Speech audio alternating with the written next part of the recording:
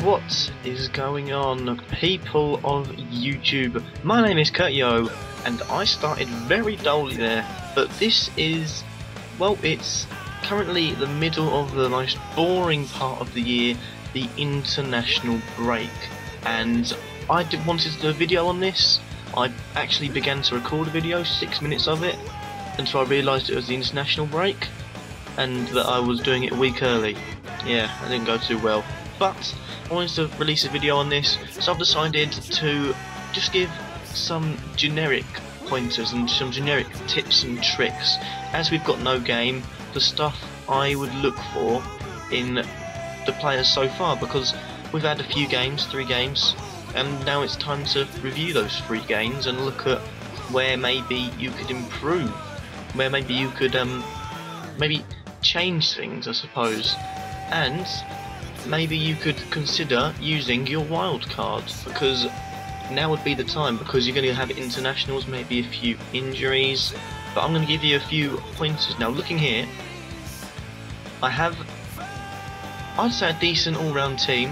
One thing, if you've got him, Eric Dier, get rid of him. He had two good games, it won't go any further than that, and I guarantee you that. I usually say things that like, maybe I'll, I'll hope something like that happens, but that one, he may have a few good, um, good games, may score a few more goals, he will not be a player to consistently get 15 points a game. You saw that he got 15, then 14, then 1 against Liverpool, and that's against a really good, strong team. West Ham and QPR not the strongest of teams. Liverpool are good. How's do anything there? But I would it's only 5.4 if you have, say, because I've got Coleman, Terry, Ivanovic, Cahill and Koscielny, if you had just four of them in your team, it'd be one to keep on there because he's a very good finisher from his first two goals, and um, maybe you might get a few more points, but I'd say don't. I'd risk, I'd put it on someone that is going to be more consistent or a defend, maybe a defender that doesn't have play for the best team, but a defender that will do a lot, like tackling wise. Either someone like Shawcross, um, Ron Vlaar's a good one. Another one is um, Alan Hutton for Villa as well. He's also one that I'd put on my team if I had any transfers left, but I don't. Um, as far as goalkeepers are concerned, I've already said what I need to say. Two goalkeepers that are going to save a lot, batting out of competition. Moving on, um, another generic pointer would be um, go for players that attack because you can get players that defend quite well, but doing a good job in the defence, if you unless you're a defender, isn't sorry, isn't going to benefit your team. Now one of those best examples is Nemanja Matic. He got 12 points in one game, he's currently on 17, but he got bonus points, and assists and a goal scored.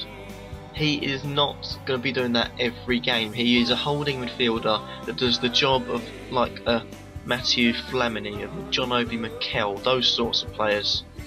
And holding roles on this got two, and he got three for a clean sheet. One point for a clean sheet for a holding midfielder. I'd say I'd struggle to put him up to make 100 this season. Although a couple of performances like that and he'll get up there. But if he plays consistently like he does, doesn't score all season, I'd say it would be. I'd be surprised if he got to 100. But then I think he's bound to score because he's got a strike on him and he'll also get assists. So it's it's just a risk that I was willing to take. But until I found out that you don't get many points for the defending attributes, so well I didn't. Now another one is look at all my five midfield players. They are all pretty much a midfielder that can get forward and get forward well. Because, like I said, holding midfielders, there's no place for them in um, this sort of um, thing.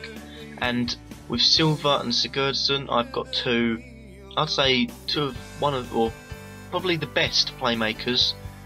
Um, not the like first and second, but I'd say put them both in the top five of being the best playmakers in the league. You've got Valencia and Dier who do their job brilliantly. just getting down the wing and getting balls in. Valencia, I feel like just needs a bit more support and needs to just stop doing the same thing over and over again. He's another one that clean sheet. It's a risk, and he's more of someone to put um, on from my bench. He will probably be the bench former of the team for that the whole thing. And also Henderson. Every team in this, I feel like, needs to have one box-to-box midfielder, and that's what you have got to go for. And my up front three strikers, I don't think I'd um, mention anything except they've got to get goals and they've got to get assists. And I think Lukaku, Naismith, and Rooney, three great examples of that. Now, away from positions, you also got to look at the clubs they are playing for. For example, I would point out a club like Spurs, who are in the Europa League. Oh, that's not Spurs, sorry, and that's Sigurdsson. But a club like Spurs, like Hull, like Liverpool, like Man United, no, Man United aren't in there. Um, like like Everton, Chelsea, City, Arsenal, all those teams, they're going to be playing one game in the weekend, then a game in midweek. That will knacker out some players, and that's something you've always got to watch out for. I wouldn't fill your team up with players that are in Europe, because if they get knackered, and trust me, at the one point maybe they will, they'll pick up a knock and then they won't be ready for the match at the weekend. That's going to be the downfall because you might have four players or more injured, and that means you have to go into your points on the field and take it away from that, and that is bad. And considering you only have three strikers, one or two of them gets injured, you're left with one striker formation, you're forced to play five at the back or five in the mid, if there's no other injuries. So look out for that. I'd say definitely, if you're going to be spending a lot of money, look at Manchester United because I feel like they will make a rise this season. It just you just got to give them like, a little bit of time. And he's got 10 points. Not bad, I suppose. Um, you just got to give them time. And I like the way how I removed Jones from my team, and he, well, it was only in one game, but um, Think you just got to give them time because they've got Rooney and Van Persie up front, as well as Falcao, and 11 million, I've only just seen this. 11 million for Falcao, white face. um, it's a bargain, but I think the reason it's a bargain is because you got Rooney, Van Persie, and Falcao, three brilliant forwards, one of which maybe will be moved out of the team. I won't see. I think it will be Rooney moving back, but they've got. I think they've got problems. Um, I wouldn't put Blind, just quite simply because he's a defender, and I feel like he's going to be playing more in the defence, and um, that'll um, won't be the best of moves. And also Di Maria, he will tear the Premier League apart, I think, and that is definitely something you've got to look out for. But overall, it is completely your choice. I'm not going to try and tell you who you should have and who you shouldn't have, but I would just say look at who they are playing and look at what teams they play for because I wouldn't stick a load of people from Europe on my team.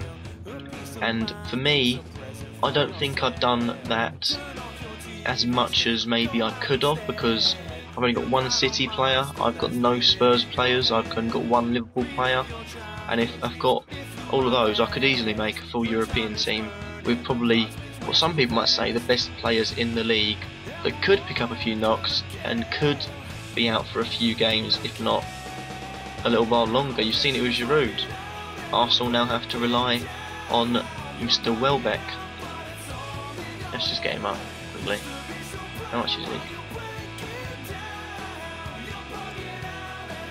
6.9 million. Blimey, that's a bargain. But yep, there we go. Um, that is the end of this episode.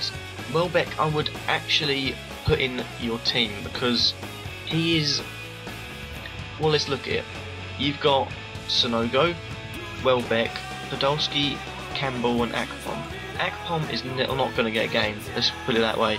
Sanogo, now I'd be surprised if you got a game along with Campbell. That leaves you Welbeck and Podolski, and Podolski, I think, will get played behind Welbeck. So Welbeck's definitely one, but that is it for this episode. I just wanted to get one out there just so it didn't really stop the flow of things, just generic pointers and helpful hints that I hope will help you push on and um, well, win your fantasy football league, maybe win it overall from using my tactics. If so, I I want half the prize money. I'm I'm being I'm, I'm being being serious here. Um, thank you for watching. If you like the video, leave a like. Let me know what you think in the comments down below. Subscribe if you feel like I'm worthy, and I'll catch you all in the next episode, which will be an actual game. Bye bye.